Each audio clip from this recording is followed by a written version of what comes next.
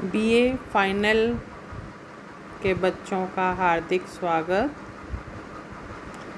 बच्चों, मैं अलका जैन, राजकीय महाविद्यालय, किशनगढ़ से सह आचार्य हिंदी। बच्चों,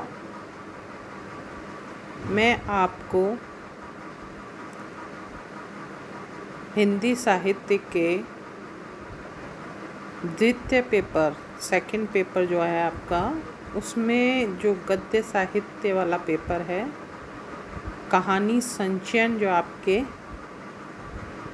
पाठ्यक्रम में है, उस पाठ्यक्रम में से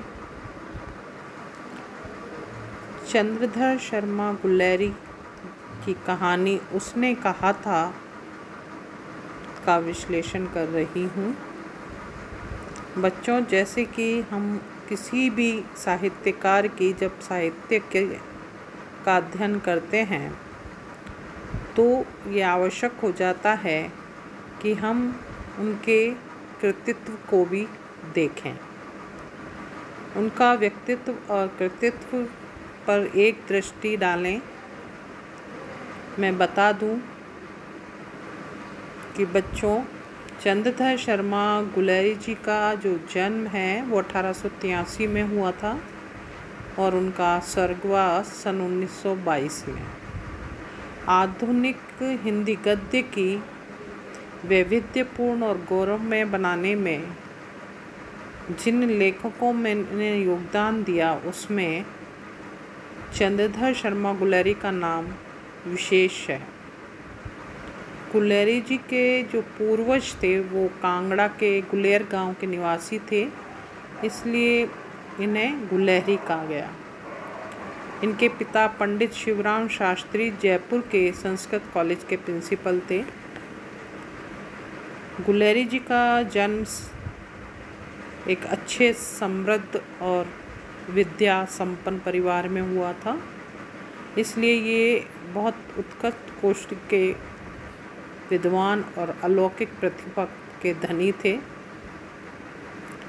इनकी मेधा और प्रतिभा का कोई बराबरी नहीं थी। इन्हें पुरातत्व, इतिहास, दर्शन, भाषा विज्ञान, साहित्य आदि सभी विषयों पर इनकी गहरी पैठ थी। इन सभी विषयों पर इन्होंने महत्वपूर्ण निबंध भी लिखे। जिसमें पुरानी हिंदी निबंध इनका ऐतिहासिक महत्व रखता है। वे हिंदी, संस्कृत, पाली, प्राकृत, अपभ्रंश, बंगला, मराठी आदि भाषाओं के पंडित थे तथा उन्हें अंग्रेज़ी, फ्रेंच, जर्मन और लेटिन भाषा का भी अच्छा ज्ञान था। बच्चों 20-21 वर्ष की अल्पायु में ही गुलेरी जी ने जयपुर समालोचना नामक पत्र का संपादन करके हिंदी समीक्षा को आगे बढ़ाया था।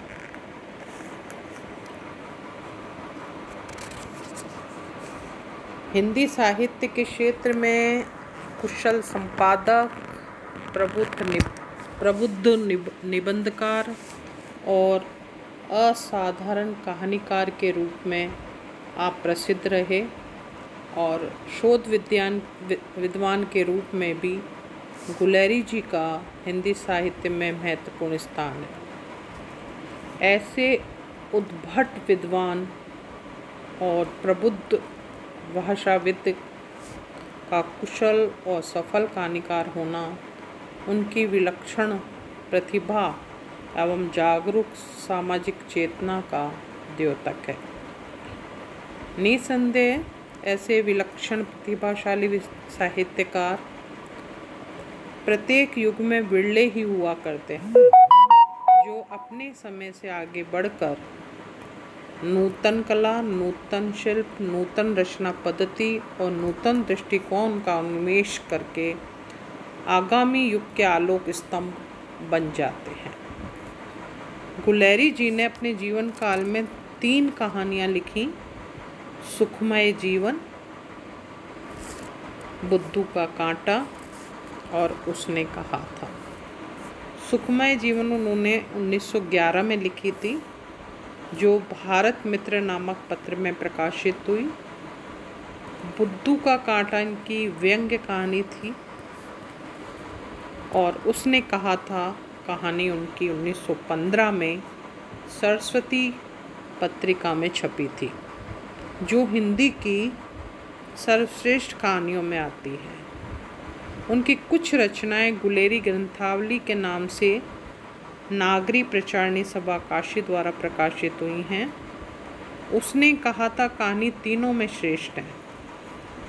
कहानी में प्रौढ़ता, परिपक्वता और रचना कौशल का जो स्पष्ट परिचय मिलता है, वह अन्य किसी कहानीकारों में नहीं। कहानियों में व्यंग है, सूक्ष्म चरित्र चित्रण है देश शब्दों का प्रयोग इन्होंने किया है, वातावरण को सृष्टि करने में। आपकी जो कहानियाँ हैं, उसकी भाषा जो है, वो बहुत ही सरल, कोमल और भावानुकूल गुणों से युक्त है। श्री गुलेरे जी ने उसने कहा था, कहानी जो लिखी थी, जो काफ़ी चर्चित रही, जिसे मील का पत्थर भी कहा गया। ये उनकी अमर कहानी है और यह कहानी जो है, सर्वश्रेष्ठ और अद्वितीय रचना है। यह उनकी कीर्ति का आधार स्तंभ है। हिंदी कहानी के विकास में उसने कहा था, कहानी मील का पत्थर मानी गई। और इस बात की प्रशंसा करते हुए आचार्य रामचंद्र शुक्ल ने अपने हिंदी साहित्य के इतिहास में लिखा भी कि इससे पक्के यथार्थवाद के बीच सुरुचि की चरम मर्यादा के भीतर भावुकता का चरम उत्कर्ष, अत्यंत ही निपुणता के साथ संफुटित हुई है। घटना ऐसी है जैसी बराबर हुआ करती है, पर उसके भीतर से प्रेम का जो स्वर्गीय स्वरूप झाँक रहा है, केवल झाँक रहा है। निर्लजता के साथ पुकार या करहा नहीं रहा। कहानी भर में कहीं प्रेम की निर्लज प्रगल्भता, वेदना की विवश विकृति नहीं है। सुरुचु के सुकुमार से सुकुमार स्वरूप पर कहीं आघात तक नहीं पहुँच सकती इसकी घटनाएँ बोल रही हैं, पात्रों को बोलने की अपेक्षा नहीं है। इस तरह शुक्ल जी ने इस कहानी की प्रशंसा की है। श्री डॉक्टर नगेंद्र जी ने भी गुलेरी जी की, उसने कहा था कहानी को, हिंदी की सर्वश्रेष्ठ कहानी घोषित करते हुए लिखा कि सुखमय जीवन में गुलेरी जी की कहानी कला का शैशव है। तो बुद्धू को कांटा में किशोरावस्था और उसने कहा था, मैं आकर वह पूरी तरह से पूर्ण पोषित हो गई है। डॉक्टर लक्ष्मी नारायण लाल ने कहा कि इस कहानी का क्रमशः गुलेरी जी की कला के विकास उत्कर्ष की प्रतीक मानते हुए कहा कि हिंदी कहानी के इस शैशव काल में कहानी की इतनी समुचित और कलात्मक भाषा शैली और प्रवाह देना गुलेरी जी के कहानीकार व्यक्तित्व की अपूर्व क्षमता है। जिस समय प्रेमचंद और प्रसाद कहानी के प्रारंभिक काल में कहानियाँ लिख रहे थे, उस समय गुलेरी जी ने इन कहानियों की सृष्टि में कहानी कला के विद्वानों और पाठक दोनों को आश्चर्य में डाल दिया था। इसी प्रकार हिंदी के जो आधुनिक सुप्रसिद्ध कहानीकार राजेंद्र यादव हैं, उन्होंने अपनी पुस्तक कहानी स्वरूप और संवेदना में प्रारंभ में ही कहा कि हिंदी की पहली मौलिक और कलापूर्ण कहानी चंद्रधर शर्मा गुलेरी की उसने कहा था है। उससे ही यहाँ की आधुनिक कहानी का प्रारंभ मान लेना चाहिए।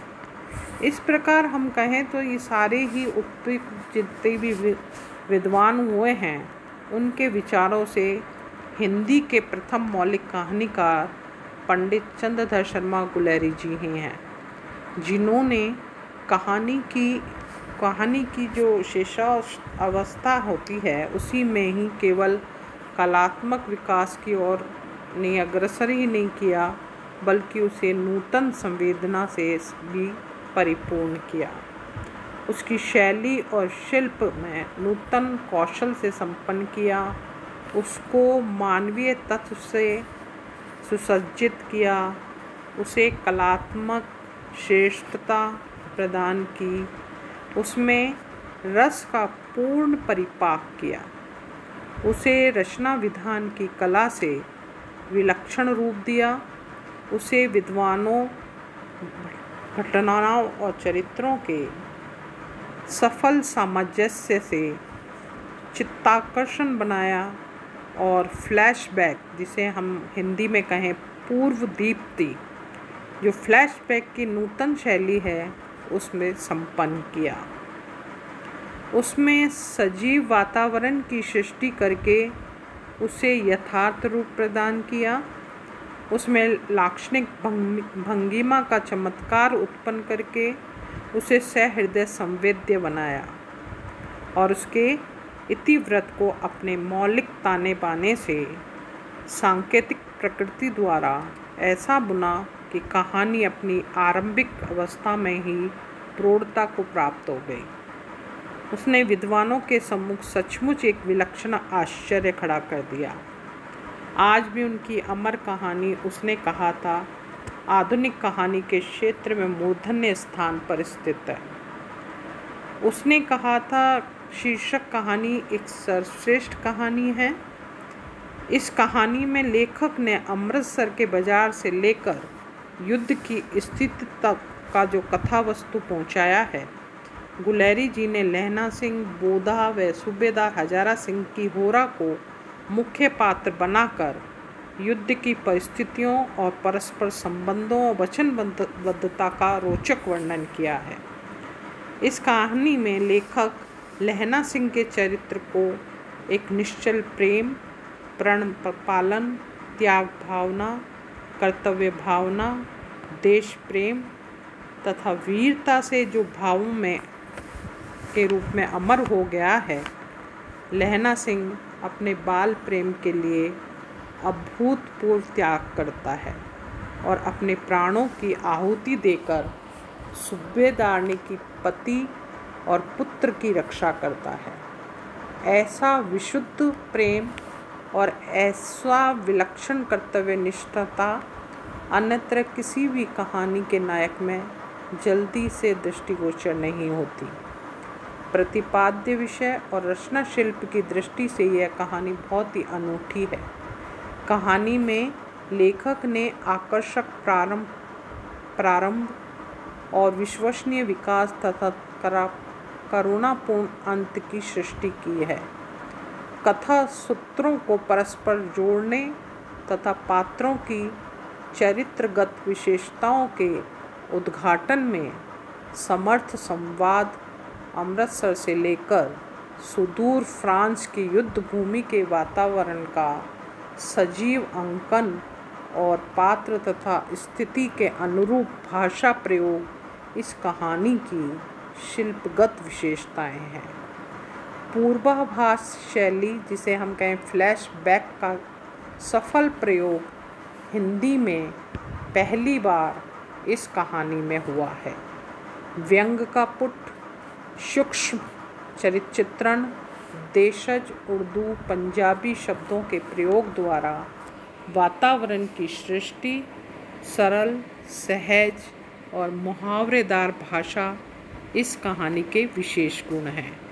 इस प्रकार अपनी गुरुता, महता, गंभीरता और प्राणवता के कारण यह कहानी तात्कालीन कहानियों में अद्वितीय है, विलक्षण है, अनुपम है और आज तक इन हिंदी कहानी के क्षेत्र में यह अपना स्थान शीर्ष पर रखती है, सर्वोत्तम है।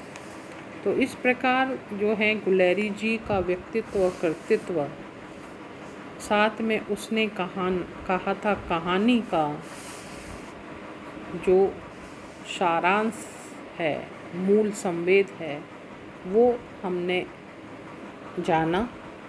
अब हम आगे कहानी के मूल रूप का विश्लेषण करते हुए उसका विवेचन करेंगे चारित्रिक दृष्टि से। धन्यवाद।